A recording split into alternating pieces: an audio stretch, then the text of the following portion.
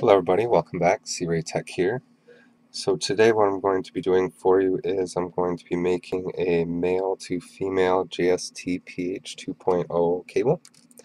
Uh, this is going to allow you to plug in directly to the um, battery port on the E011, E010, and um, well, any quad for that matter that uses this connection. Uh, the reason why I'm doing this is because I've noticed that a lot of times I end up breaking these leads. Um, in fact, I just broke the one that I did on my um, E011 into the DM002 frame. So you'll see here, snapped it right off. So I'm wondering if maybe if I try this, if it'll last a little bit longer.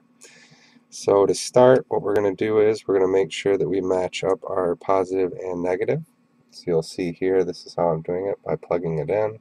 So then I get an idea of what goes where. So let's go ahead and get these soldered together. And then I've got some heat shrink tubing that I'll use to just kind of um, protect everything.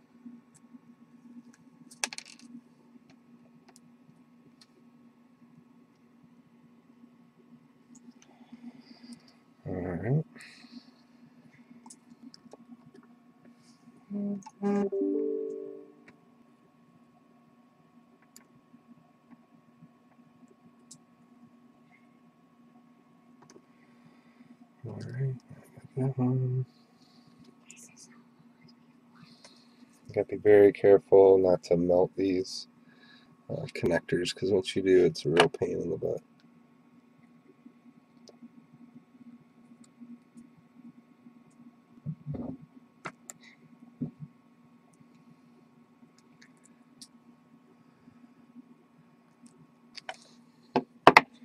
Alright, there we go. Now we'll slide our heat shrink tubing over the this here. Sorry. Get this heat shrink tubing slid over it here. See? We'll just hit it with the lighter.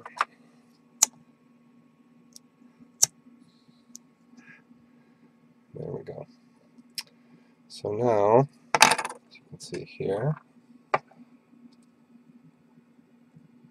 got ourselves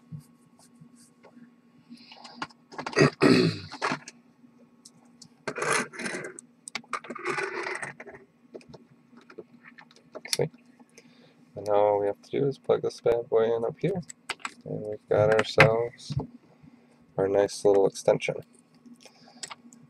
And what I've been doing actually with the E011, up a little bit,